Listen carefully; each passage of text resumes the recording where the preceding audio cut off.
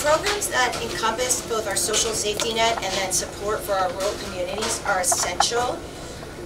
One thing that we have to guard and protect against as federal representatives is creating unfunded mandates for local governments to try to deal with. And I think that while I am working very hard to make sure that I'm clear that we are trying to make opportunities for people, create jobs that pay a living wage. However we take care of our most vulnerable, vulnerable populations at their most vulnerable times is a real uh, testament to who we are as a society. And I think it's very important that things like SNAP and temporary assistance for needy families are protected and funded because not only do they help people in times of need and provide that bridge to get them from maybe a time of employment to a challenging time and then getting back to employment, but it also provides a funding source for local communities. That money is spent in our community at our local businesses. It's not like it's a zero-sum game and doesn't add to our own economy. So I think I just want to be clear about that. The other thing is, we need to make sure that the federal government is fully funding programs that help rural communities. So for example, we all know that in Mammoth, we struggle with having enough affordable housing for our workforce. We have incredible people in the community who are working really hard to try to solve that problem on the local level. The job, in my opinion, of the representative is to make sure that the federal government is funding those programs fully so that we can implement the work that our local governments have, have created. So that's my thought. Very good, thank you, Chris. Let's go to Jay. Oh, what's the question? I got too involved in what you're saying. Talk about. Oh, yes, okay, social safety net, Social, uh, Okay, SNAP, got it. okay, and the impact it has in our community. Sure. And how do you prioritize those when it comes to budget time, that it it maximizes the impact it has for us in a positive manner? Right, so I can say categorically, there has never been a time when the programs that we're talking about were more important to the people of the United States, but particularly the people of rural California. Uh, The conventional wisdom is that poverty is a problem, but it's mostly a problem in big cities. You know, like Los Angeles, San Francisco, Las Vegas, you know, we don't have poverty here in Inyo and Mono counties. We don't have poverty in Mammoth, but you know and I know that that's absolutely untrue. We're seeing homelessness and uh, food instability in places in California that we have never seen them before. We have homelessness here, we have homelessness where I live in Big Bear. If you want to see deep poverty, you don't have to go anywhere further than Victorville. Go to downtown Victorville, drive through there, and you'll see what people really struggle and look like. So it is critical that you elect somebody that can go to Washington DC and articulate those points uh, to the people who are distributing this funding because we need it just as badly as the, the urban areas of the United States, and we struggle to get appropriate funding because oftentimes the urban areas gobble it all up. So we need to make sure we articulate that difference. But I want to talk about something else, and it's another way that we are really suffering right now. Uh, it's the problem of mental health. Right now, basically, both the federal government and the state of California have punted this issue and have said to the counties, okay, counties, it's your problem, and you know what? Shame on you for not doing a better job. And the counties, I mean, they have no funding to do this. They're already struggling to meet the workload uh, of the residents that already depend on them. Okay, and we all know that, that mental health is one of the key underpinnings of the problems of, uh, of homelessness and of poverty. So uh, we, we have to solve this issue. Uh, really, the state got out of the mental health services business altogether uh, a decade ago when we closed the last of the state mental health hospitals. You know, and the state really hasn't provided any substantial funding since then, and neither has the federal government. It is critical that we solve that problem in the next few years, because I believe that we are at an inflection point, kind of a a tipping point, and if we don't get the problem of mental health and our societal responsibility for providing it under control in the next few years, I think that the problem is going to get exponentially worse. Thank you, sir. Tim, bring it home. Yeah, so I, I'm gonna take this in a different direction. I- My goal will not be to expand funding for programs. My goal will be to expand jobs and get people off of programs so that they're not dependent on the government. Uh, which can be very unreliable.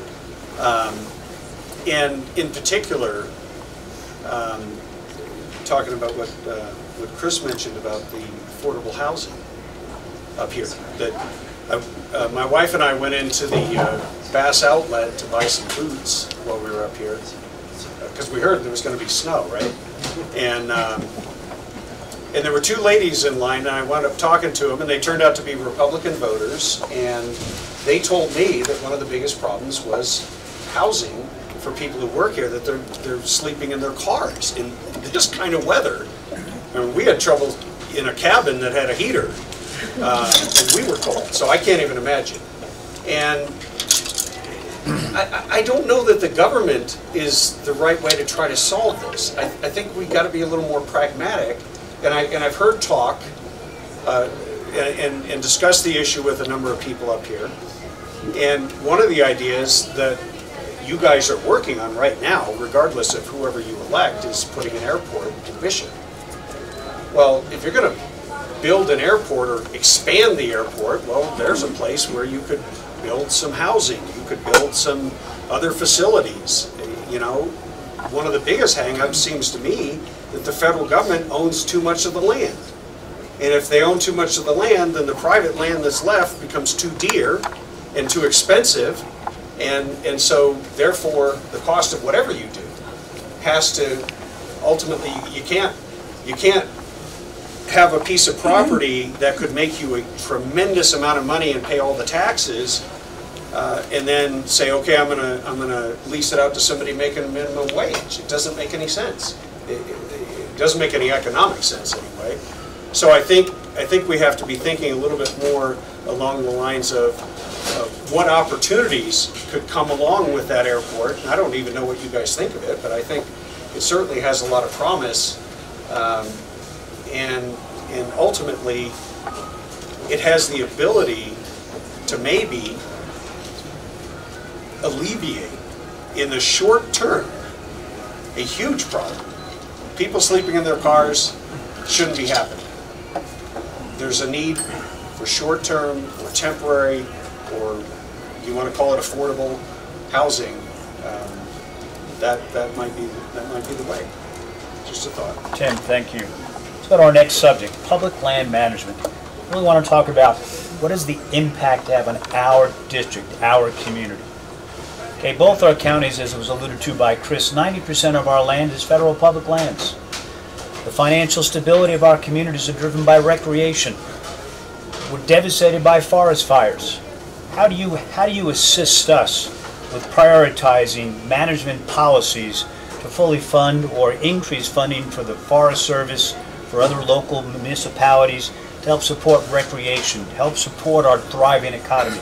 Because we are driven by recreation. What does that look like? What does it taste like? What is the impact that that lack of funding has on our community at this point? And how do you prioritize that and move that forward for us in the future? I'm going to start with uh, Jay on this one, please. That's good, it'll help you remember the question. So, uh, you're electing a federal representative here, and your federal representative is arguably your most important advocate in the land, the policy of managing these vast federal lands because of so many, because so many of them are, uh, are governed by federal policy. So, uh, in an area like ours, obviously, this is a critical role. I want to highlight, though, what we're losing in Congressman Cook, because he has been a staunch advocate for changes in land use policy that benefits our districts and our communities. And uh, it's, it's, in the last couple of years, it's been amazing what he has been able to accomplish there. Uh, And whoever uh, replaces him is going to have big shoes to fill, because everything in Washington is based on seniority. So it's taken Congressman Cook a few years of representing the area to get enough seniority to be able to walk in and do something like establish a new monument. So uh, I don't want to, anyone to overlook the monumental challenge that is going to face any of us that are going to look to, to fill those shoes. Uh, Also, I want to talk for a second about the issue of uh, forestry and wildfire preparation, because this is something that is absolutely critical to our entire con- congressional district, but particularly for the community of Mammoth. And I understand it very well, representing, as I do, the San Bernardino Mountain communities, because we're facing exactly the same challenges. Uh, as climate change accelerates, we are going to see an increasing frequency of fires, an increasing duration of fires, and increasing severity of fires. And they are going to, and I'm not overstating this, they are going to threaten our ability to live in a beautiful place like this and to continue to have a community that's surrounded by national forest. Okay, it is absolutely, absolutely critical that we get our arms around the problem of forest management, that we harden our infrastructure, and that we prepare for those things. Because if we don't, the casualty industry, in other words, property insurance, is going to solve that problem for us. And they're going to solve it in a way that's going to destroy all of our communities. In other words, fire insurance is going to be so expensive because of the risk that these insurance companies are going to take that none of us are going to be able to afford it and our mountain communities are going to die. So it is critical that we call attention to this issue at the federal level. Critical. Very good, thank you. Tim, what do you got for us? So, in terms of the impact locally here, I, I'm going to look at it from a slightly different viewpoint, surprise, surprise. Um, My wife and I are staying out at uh, Convict Lake, which is in Mono County. Um, We discovered it on our way to an education conference when I was an assemblyman, and wound up enjoying a little fishing and peanut butter and jelly sandwiches in the August sun. And just thought it was such a magical place. And, uh, and, and it's really strange that I happen to become friends with one of the owners. And he has shared with me the challenges of operating a business on um, what is federal land. And for instance, you would think if, if the operator of that business wants to invest money in making it safer for everyone, especially vis-à-vis the forest fire risk, the U.S. Forest Service would bend over backwards. Or the representative, you know, who is in Congress would be able to get something done. And despite his pleas, despite his, his begging for help, despite his negotiating, um, it's taken two years and they will not give him a permit just to replace a transformer. And it's a transformer that needs to be replaced. And you know, a lot of fires are sparked by faulty transformers. So there's some work that needs to be done that has nothing to do with the funding. Because I don't think any freshman representative, which all of us would be in Congress, because none of us has been there, um, would be able to really control how much federal funding is actually going to those agencies. Um, But we can control the, the impact locally for an actual business owner who is operating a business, who is employing people, who is paying tax in this community, who is part of the solution. And I think that's the crucial role, and, and that's where it becomes more about accessibility and, and having a true representative who will go pick a fight for you. Because that's ultimately the job that each of us is interviewing for. And, uh, in, in order to do, to do that, you've got to get to know some of the people, and, and, and that's something I really enjoy doing and would love to do for you. Very good, Tim, thank you. Chris, please? So, this is personal to those of us who live in mountain communities, that we need to make sure that we keep our community safe. And I was privileged to be able to attend the fire town hall last summer um, that was put on by Bob and Stacy Corliss, and it was, I was so heartened and thrilled to see the sheriff's department, our county supervisors, BLM representatives, Forest Service representatives, all come together and talk about the challenge and risk that we face from the fact that we have federal lands that frankly just haven't received the funding that we need to take care of them at the most basic level for far too long. But what made me so happy and heartened was the plans and the work and the uh, you know, know-how of our local leaders to bring to bear state funding that was available to start to clean up, you know, the Twin Lakes area, so our greatest fire risk is being addressed right now, made me understand the job of the federal representative is to go to Washington and make sure that you are advocating for and obtaining the support to do the work that your local representatives already have figured out. I want to just mention that I'm really proud to have received the endorsement of the League of Conservation Voters and the Sierra Club because I think it's going to take all of us, all around this country, in all our different communities, working together to articulate the challenges that we face if we don't manage our federal lands better. And look, I love my children, but I only had them because I want grandchildren. and I want my grandchildren to hike the John Muir Trail, which my family and I did for a big birthday that we had, that I had, that I won't say the number. um, but that's what we owe future generations, and we need to get on this immediately. And that's what I will do.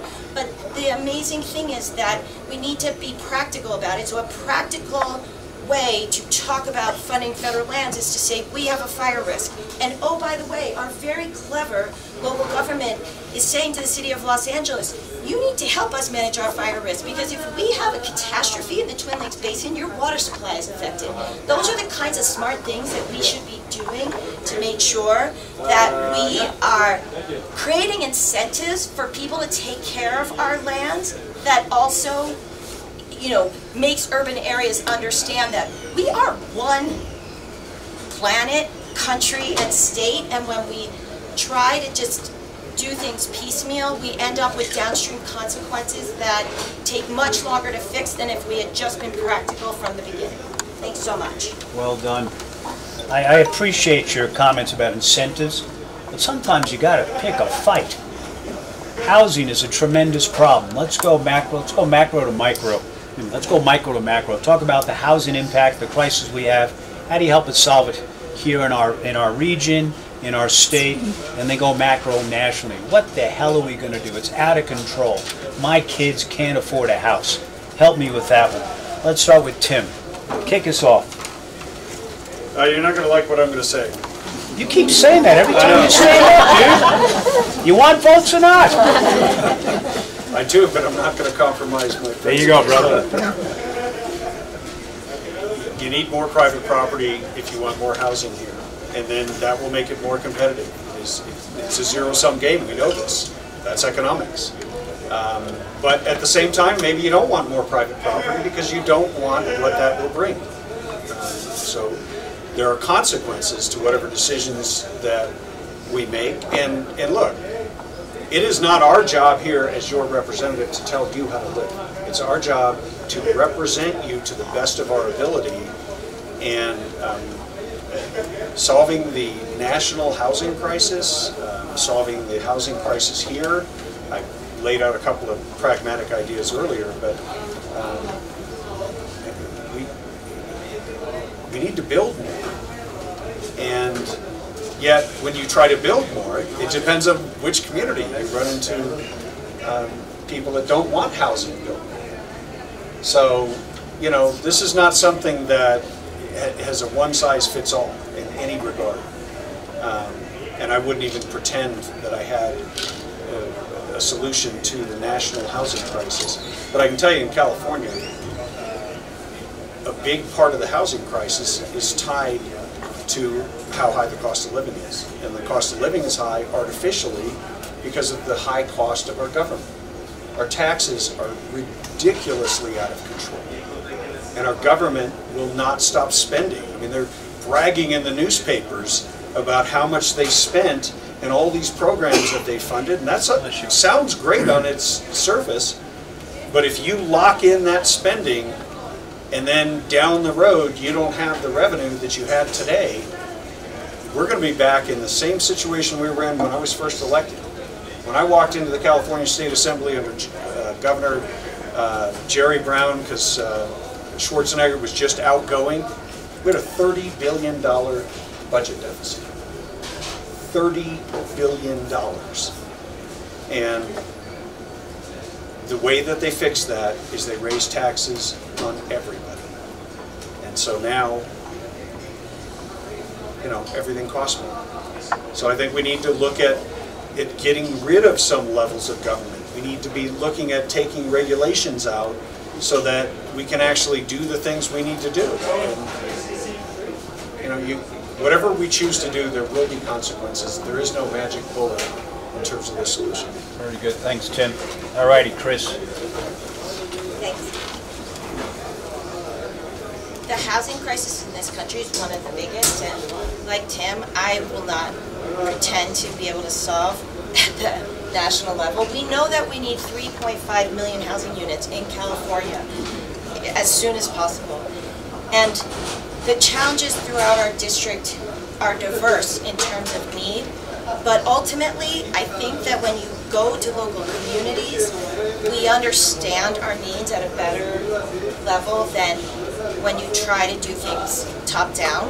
So in a bottom-up way, talk to communities, understand what their needs are, and make sure that we are working with the Department of Housing and Urban Development, that we are working to make sure we bring community development block grants to communities where there are specific housing needs, that we make sure that we create ways for people to get the kinds of loans that will allow them to get into housing stock. But we also have to rethink what kind of housing stock we are creating in this country because we keep spreading out and I think even in our rural communities, we need to think about ways where density makes sense, that we are being practical about it.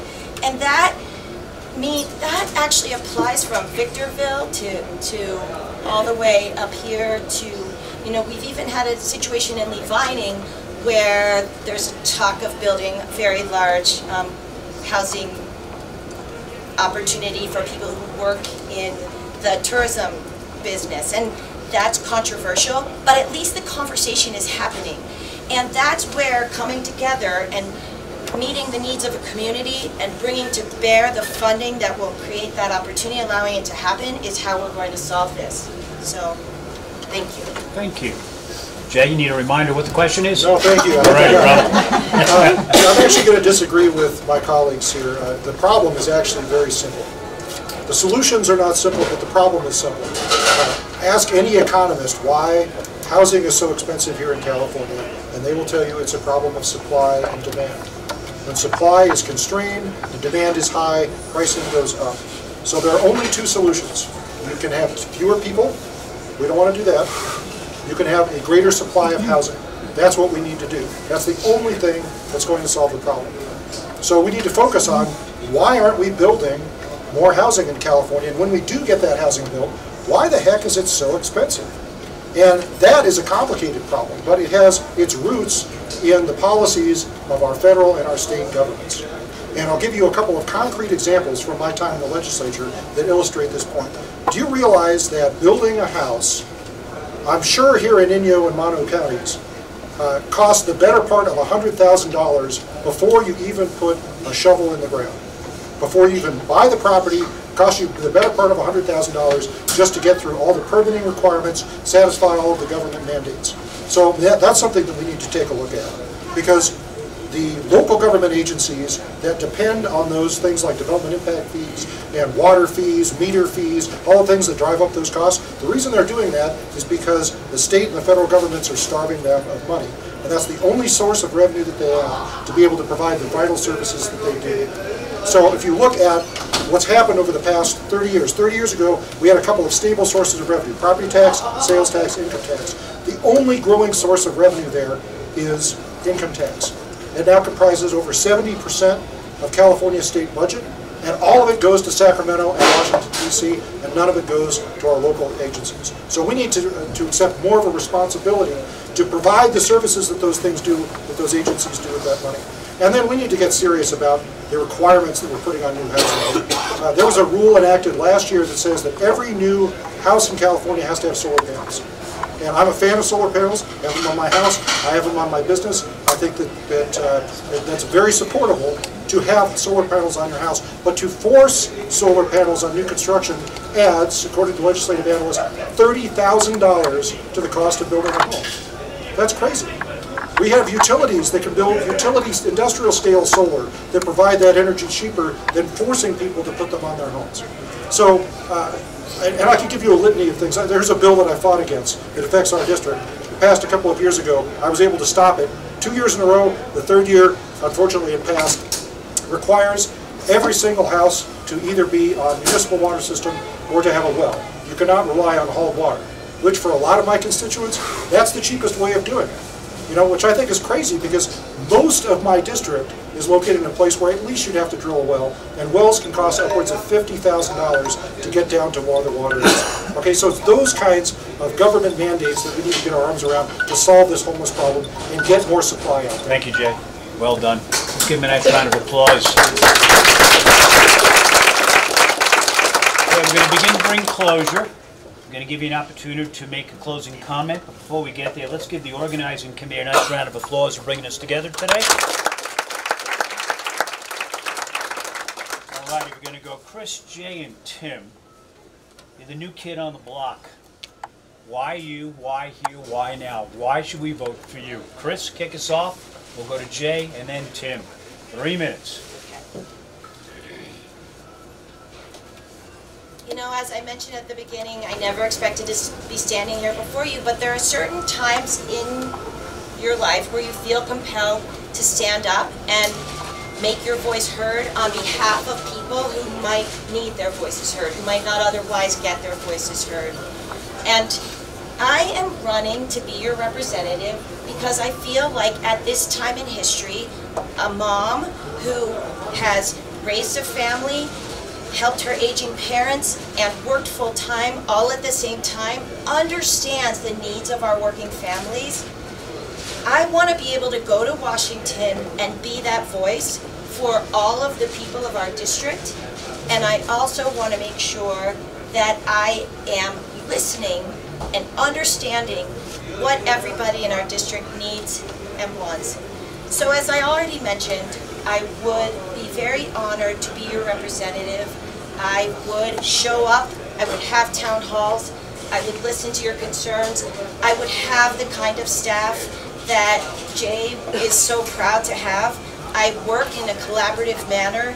I've got an incredible team already that is here trying to meet the needs of the people of our district while we're running to be your representative. So I just am so grateful to you, so delighted to be here in Mammoth, seeing all of you participating in our democracy because it's only together with people who we agree with and those who we might agree with on the principle or the fundamental challenge that we're trying to address, but we only disagree on how we want to get there, that it is time for us to come together and make sure that we're creating the kind of future for our working families that we all dream of and we all agree all Americans deserve. I hope you will consider voting for me on March 3rd in the primary and again on November 3rd. And I'm incredibly grateful that you've been here participating today, and I really want to thank all the organizers. Mammoth Voices is a treasure that I wish we had in every town in the district. Thank you. Well done, Chris. Jay, what, please. This is my close, I'm going to stand to vote. Um, I want to thank you very much for the opportunity to be here today. Uh, It's, and I apologize for my appearance, I had to come straight from Sacramento, I got to go straight back when we're done because I have an event tonight, but uh, it it is really, really important, the civic engagement that you've shown here. And I wish that I had 750,000 constituents just like you that were willing to come to a forum. Because the challenge of getting elected, as, as anyone who's run a campaign knows, and as all of us sitting at this table know, is just getting people to know that you exist. Because most people don't take the time, as you have done, to come to a forum, to educate themselves on the issues. It's really important, so thank you very much. Uh, I also want to say to my uh, colleagues up here, a great job.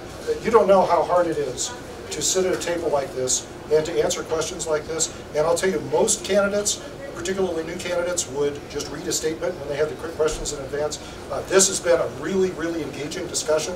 I think you, the- some really interesting viewpoints, and uh, we've got three people that have really done a great job here, so, you know, good job to both of you. Um, I am passionate about representing you in Congress, and and I think I can say that with authority because I've been passionate about representing two-thirds of the congressional district in the state assembly for the last six years. I'll tell you this, it is the hardest job I have ever had in my life. And I've had some hard ones, but this one is the hardest job ever because no one gives you a manual when you get elected on what it means to be an effective representative. right? You have to figure it out on your own. And what you find out very quickly is that if you make a list of all of the different things that you could spend your time doing as a representative, you will quickly run out of time. You couldn't do a tenth of what's possible, even if you work 24/7. So we all have to prioritize. We all have to figure out what are our values, what are our principles, what's important about being a representative, what do we think are the important parts of the job, and we do those things. And if you want to know what kind of a congressional representative I would be, just look at how I have managed being an assembly representative for the last six years. Uh, I'm very thankful to have the endorsement of outgoing Representative Congressman Cook. Uh, I have the endorsement of all 13 mayors of all 13 cities in the congressional district, including here in Mammoth. Uh, I, I am really, really grateful for that because I think it demonstrates that if local government is willing to say, yes, Jay Obernolte's done a great job representing us in the legislature, he'd do a good job in Congress, uh, that means a lot to me to have them say that. Uh, I have the, endorsement of the Inyo County Sheriff, the uh, San Bernardino County Sheriff, over 150,000 law enforcement officers throughout California have endorsed me because of my strong stances on public safety. But uh, in particular, I'm passionate about being your voice in Congress. And let me close by saying, uh, I, I love your mission statement at Mammoth Voices. I love it. What has happened to us lately that, that there's no political discourse that's civil anymore? So I love the fact that we can sit down and have a discussion where it's about uh, it's about principles, it's about policy, and it's not about personality.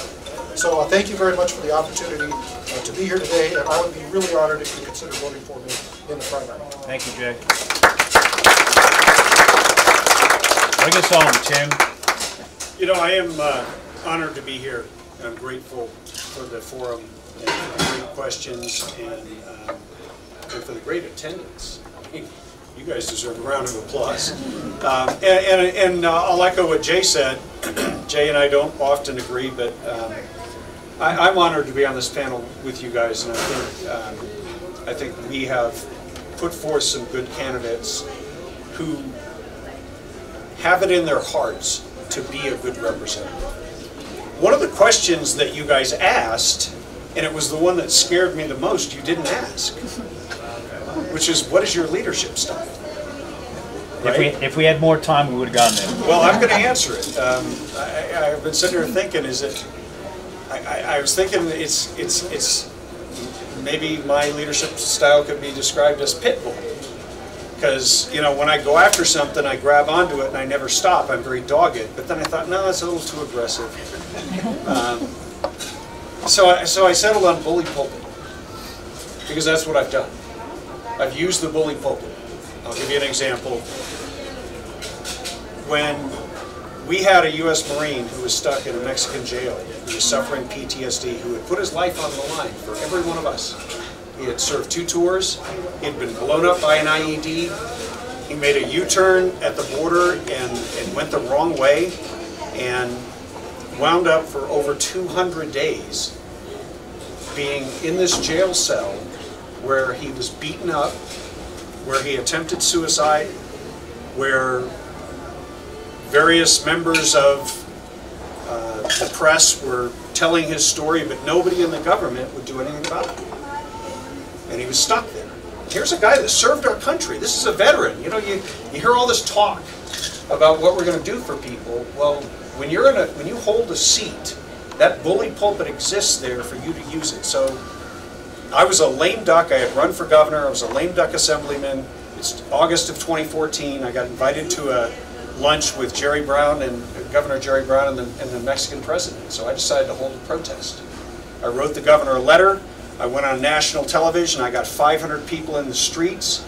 And two things were accomplished that day. Number one, we, we forced the governor and the Mexican president, who had the power to release our Marine, to acknowledge his existence. And the talks that had broken down between U.S. Marine Sergeant Andrew Tahmooressi's attorney and the Mexican government were restarted that morning. And I was informed of that by Congressman Duncan Hunter, who had been one of the only ones fighting on this issue. The bottom line is, one man, one voice can make a difference. And I want to be yours. Well Thank done. you. Thank you, Godspeed. Thank you. Kathleen, you are magnificent with timing. We are a minute ahead of ourselves. We're going to go around the room, round robin, to see if we have any questions. We'll ask you to raise your hand, stand tall, and ask your question to one.